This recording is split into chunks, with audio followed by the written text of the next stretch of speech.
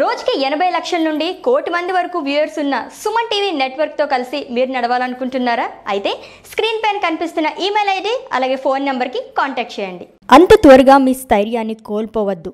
మనం తప్పకుండా చంద్రుడిని చేరుకుంటాం. వచ్చే జూన్లో లాంచ్ చేయనున్న చంద్రయాన్ త్రీ మన లక్ష్యం. విక్రమ్ ల్యాండర్ ఆర్బిటర్ ఇంకా అక్కడే చంద్రుడి ఉపరితలంపై ఉందన్న విషయాన్ని మనం మర్చిపోవద్దు. అది మనకు ఛాయాచిత్రాలను పంపిస్తుంది. డేటా కమ్యూనికేషన్ కూడా పంపిస్తుంది.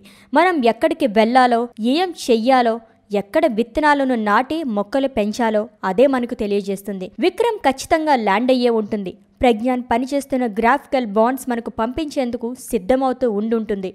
అదే జరిగితే విజయం అంతా మన చేతుల్లోనే ఉంటుంది. తదుపరి తరం పిల్లలకు ఇస్రో శాస్త్రజ్ఞులే స్ఫూర్తిదాయకం. ఇస్రో నువ్వు మాకు గర్వకారణం.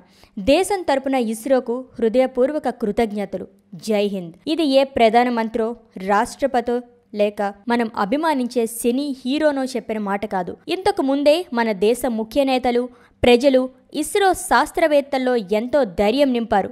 మన దేశానికే చెందిన ఒక పాఠశాల విద్యార్థి మన ఇస్రో సైంటిస్టులు చంద్రయాన్ టూ విషయంలో టెన్షన్ పడుతుంటే వారిని ఉత్తేజపరుస్తూ రాసిన లేఖ ఇది. అలాగే స్థైర్యాన్ని కోల్పోవద్దు అంటూ ఆంజనేయులు కౌల్ అనే పదేళ్ళ బాలుడు రాసిన లేఖ ఇప్పుడు సోషల్ మీడియాలో వైరల్గా మారింది. ఈ లేఖను చదివిన మన ఇస్రో శాస్త్రవేత్తలు ఎంతో ఉత్తేజానికి గురవ్వడమే కాక ఆ లేఖ రాసిన బాలుణ్ణి అందరూ ప్రశంసించారు. చంద్రయాన్ టూ సంబంధించిన విక్రమ్ ల్యాండర్కు సాంకేతిక సమస్య తలెత్తిన సమయంలో టెన్షన్ పడ్డ శాస్త్రవేత్తలు తరువాత విక్రమ్ ఎక్కడుందో కనుక్కుంటామంటూ చెప్పారు. వారు చెప్పినట్లుగానే విక్రమ్ ఆచూకీ దొరికిందని సిగ్నల్స్ను పునరుద్ధరించేందుకు శత విధాలుగా ప్రయత్నిస్తున్నామని ప్రకటించారు. ఆచూకీ లభించడంతో ఇస్రో శాస్త్రవేత్తల్లో ఊపిరిపోసినట్లయింది అయితే శుక్రవారం తెల్లవారుజామున ల్యాండర్ చంద్రుడిపై దిగే ప్రక్రియ రికార్డైన గ్రాఫ్ క్షుణ్ణంగా పరిశీలిస్తే ఉపరితలానికి నాలుగు వందల మీటర్ల ఎత్తుకు చేరే వరకు విక్రమ్ నుంచి సంకేతాలు అందినట్లు స్పష్టమవుతుంది.